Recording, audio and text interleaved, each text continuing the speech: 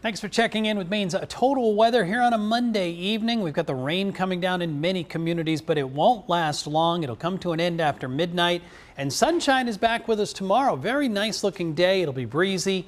Temperatures are going to top out in the 50s. Now, there's been some rumbles of thunder earlier in the afternoon, but for now, it's just rain showers back edge steadily making progress from west to east. We'll hang on to the threat for a few more hours, but look at the dry air. Western New York State back through the Great Lakes. High pressure here brings sunshine not just tomorrow, but Wednesday and Thursday as well.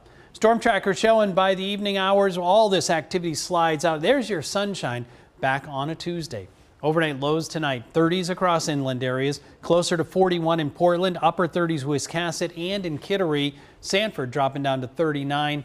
And with the sun back tomorrow from start to finish, it's cool in the North Country, Rangeley only up to 40 degrees, but Portland will climb to 56. There will be a breeze out of the northwest, gusting at times up over 20 miles per hour. Here's a check of the next eight days. Enjoy the sunshine.